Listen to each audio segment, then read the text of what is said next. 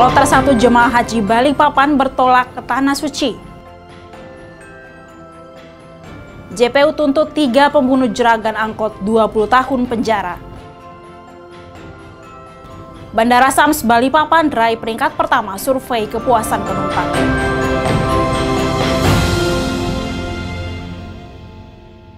Selamat pagi saudara, Kompas News Balikpapan kembali hadir menemani ruang informasi Anda edisi Rabu 2 Agustus 2017. Selain tiga informasi utama tadi, sejumlah informasi dan berita menarik khas Kompas TV akan kami hadirkan untuk Anda. Selama 30 menit ke depan bersama saya Polina Jaru, inilah Kompas Balikpapan selengkapnya.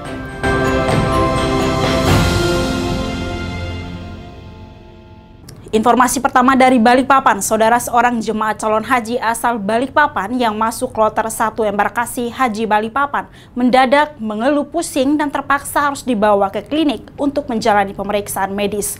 Pada tahun ini embarkasi Haji Balikpapan melayani keberangkatan 5.727 jemaat calon haji dari empat provinsi yang terbagi dalam 13 kloter.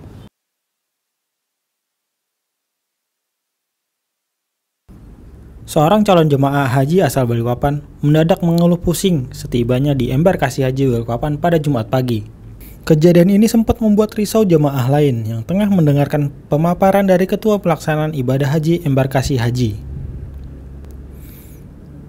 Setelah melakukan pemeriksaan singkat, petugas akhirnya membawa jemaah tersebut ke klinik embarkasi haji untuk menjalani pemeriksaan. Ketika di kursi roda, jemaah ini juga sempat tergelincir akibat salah satu roda di bagian depan rusak. Jemaah calon haji asal Balikpapan ini tergabung dalam kloter 1 embarkasi haji Balikpapan. Sebanyak 449 jemaah calon haji masuk asrama pada Jumat pagi dan satu orang dinyatakan gagal berangkat karena sakit stroke. Sebanyak 5.727 jemaah calon haji dari Provinsi Kalimantan Timur, Kalimantan Utara, Sulawesi Tengah, dan Sulawesi Utara yang terbagi dalam 13 kloter akan diberangkatkan ke Tanah Suci Mekah melalui embarkasi haji Balikpapan. Ya, tahun ini kita alhamdulillah ada kenaikan uh, jumlah jamaah dibanding tahun lalu. Kenaikan itu kurang lebih 30,25 persen jumlah tahun lalu. Dan tahun ini juga uh, kita alhamdulillah menggunakan pesawat Airbus ya, yang biasanya kita hanya menggunakan pesawat Boeing. Tahun ini kapasitas pesawat kita 450 jumlah jamaah kita jadi ada peningkatan lebih 100 orang dalam satu kloter. Dengan demikian, eh, dengan petugas lima orang ini memang membutuhkan kerja yang cukup keras karena mereka menerima jumlah jamaah yang cukup besar dibanding tahun lalu. Tapi kan hari ini jamaah kita yang uh, dari kota Balikpapan, kloter 1 embarkasi Balikpapan itu jumlah jamaah semula 450 berkurang satu orang jadi yang berangkat ini 449. Hmm. Satu orang batal berangkat itu dikarenakan sakit jadi stroke. Oleh karenanya uh, mereka batal berangkat. Mudah-mudahan nanti kita jadikan uh, untuk prioritas tahun yang akan datang bisa berangkat. Mudah-mudahan beliau sehat. Pada tahun ini, jumlah jemaah calon haji dan petugas yang berangkat melalui embarkasi haji Balikpapan mengalami peningkatan sebesar 35% atau bertambah 1.500 orang dari tahun lalu. Yanuaris Wandanu, Kompas TV Balikpapan, Kalimantan Timur. Jemaah calon haji kloter 1 asal Balikpapan diminta mewaspadai penyakit kolera yang kini mewabah di Yaman selama melaksanakan ibadah haji di Tanah Suci Mekah. Kondisi cuaca yang saat ini mencapai 40 derajat dikhawatirkan mengakibatkan kondisi jemaah melemah dan mudah tertular kolera.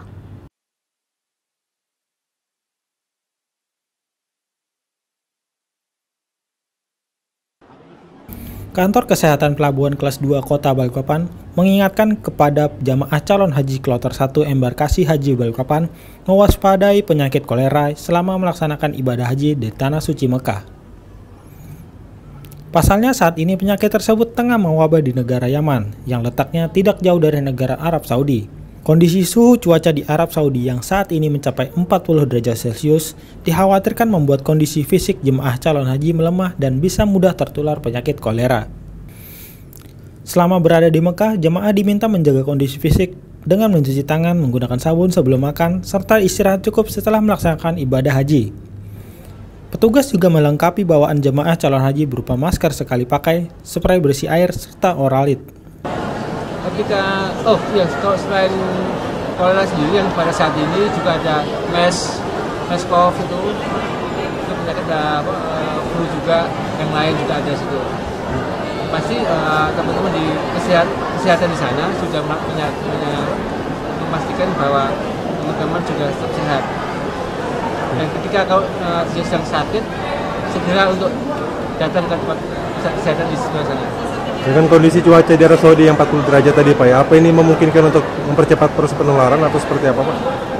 Ya, saya kira karena kondisinya menjadi lemah, teman-teman itu petugas itu ya kemudian makan makin lemah dan makin bisa gampang untuk masuk ke penyakit itu. Pada keberangkatan jemaah calon haji kloter 1 embarkasi Haji Balikpapan diisi 449 jemaah asal Balikpapan, sementara satu jemaah gagal berangkat karena menderita stroke. Yanuaris Wandanu, Kompas TV Balikpapan, Kalimantan Timur. Sebanyak 443 jemaah calon haji asal Balikpapan yang tergabung dalam kloter 1 embarkasi Haji Balikpapan Kalimantan Timur bertolak menuju Tanah Suci Mekah menggunakan maskapai Garuda Indonesia Boeing 747-400 pada Sabtu dini hari. Mereka didampingi lima petugas penyelenggara ibadah haji.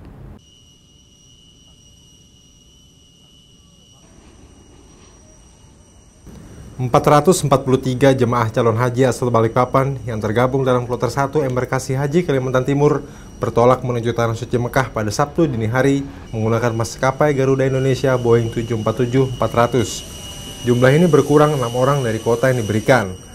Pasalnya, 5 jemaah calon haji dinyatakan sakit ketika berada di embarkasi haji karena anemia atau kekurangan darah. Sementara satu jemaah lainnya gagal berangkat karena menderita penyakit stroke. Mereka diangkut menggunakan 11 unit bus dari embarkasi haji menuju Bandara Sultan Haji Muhammad Sulaiman Sepinggan, Balikpapan. Jamaah yang semula itu berjumlah 450, kemudian ditambah petugas 5, sehingga jumlahnya 450. Ya. Nah, kemudian uh, ada yang karena kondisi sakit, sebelumnya itu ada yang mengundurkan diri satu, saat ini ini ada lagi tertinggal enam orang ya. Sehingga jumlah uh, yang berangkat ini jamaahnya ini 443 ya 443 ini yang sekarang ini lagi berangkat ini. Yang enam ini kenapa pak? Sakit, sakit. masih dalam perawatan.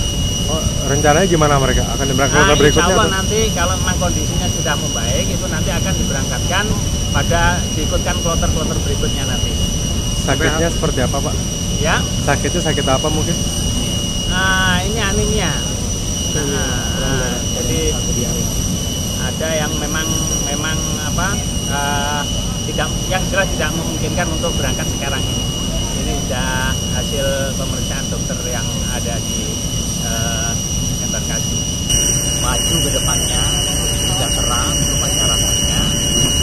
Ya, mudah-mudahan bangsa kita bisa seperti bangsa-bangsa atau negara-negara yang lebih maju. Jadi atau negara-negara Eropa seperti Jerman, bahkan uh, mungkin uh, negara-negara Australia.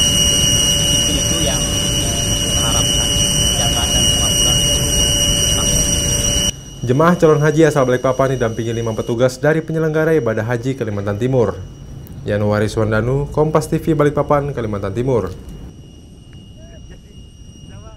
JPU tuntut tiga pembunuh juragan angkot 20 tahun penjara. Informasinya saat lagi dalam Kompas Balikpapan usai jeda.